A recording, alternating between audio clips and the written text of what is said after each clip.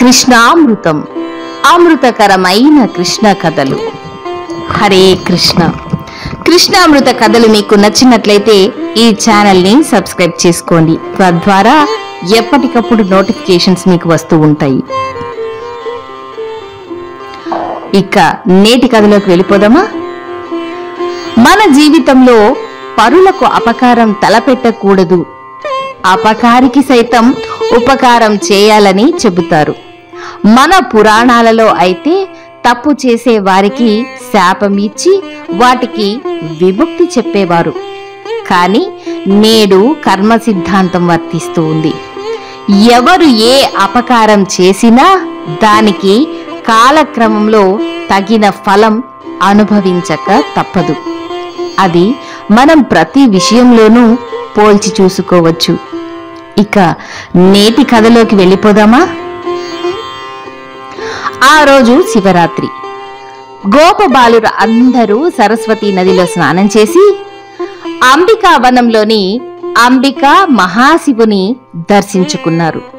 అక్కడే ఉండి ఆ రాత్రి అక్కడే పడుకున్నారు.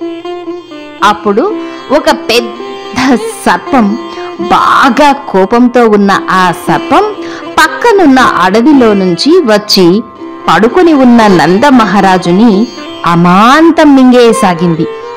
నంద మహారాజు పెనుగులాడుతూ అరుస్తూ నాయనా కృష్ణ వచ్చి నన్ను కాపాడు. ఈ సర్పం నన్ను మింగేస్తూ ఉంది. అని అరుస్తూ పెనుగులాడుతూ ఉంటే ఒక అతను వచ్చి అక్కడ వెలుతురు కొరకు వెలిగించిన కర్రతో ఆ సర్పాన్ని కొట్టాడు. కానీ ఆ సర్పం నందమహారాజుని విడువలేదు. ఒక్కసారిగా కన్నయ్య అక్కడికి చేరి తన మృదువైన కమలముల వంటి పాదాలను ఆ క్రూర సర్పంపై వేయగానే నందమహారాజుని అంతేకాకుండా తన సర్ప శరీరాన్ని వదిలి అందమైన దేవతా రూపంలోకి మారిపోయాడు. అందమైన వస్త్రాలు నగలు ధరించి ఆ కన్నయ్య ముందు నిల్చున్నాడు. కన్నయ్య అది చూసి ఇంత అందమైన మూర్తివి నీకు ఈ పాము శరీరం ఎలా వచ్చింది? అని అడుగగా ప్రభు గత జన్మలో నేను విద్యాధరుడను.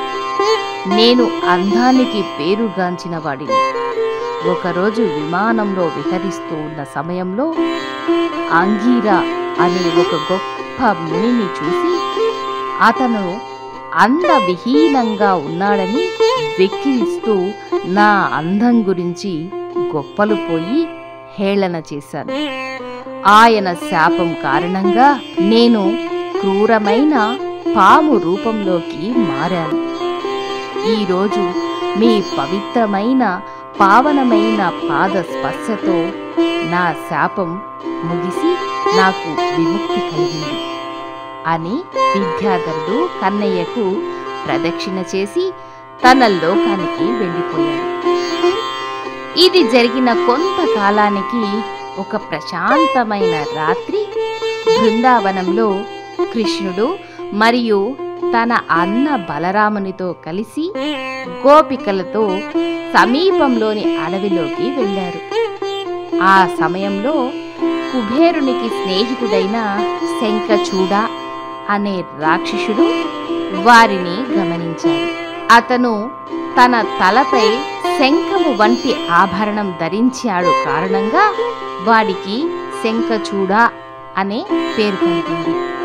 ఆ శంఖచూడు కృష్ణ భరరాములతో ఉన్న గోపికల్లో కొంతమందిని అపహరించపోగా ఆ గోపికలు కృష్ణుని బలరాముని కాపాడమని అరుస్తారు.